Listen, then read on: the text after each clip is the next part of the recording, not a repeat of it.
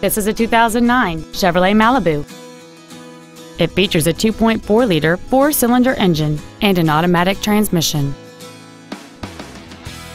Its top features include a multi-link rear suspension, a low tire pressure indicator, XM satellite radio, and traction control and stability control systems. The following features are also included air conditioning, a split folding rear seat, cruise control, a six speaker audio system, four wheel independent suspension, 17 inch wheels, a passenger side vanity mirror, OnStar, full power accessories, and a power driver seat. Contact us today to arrange your test drive.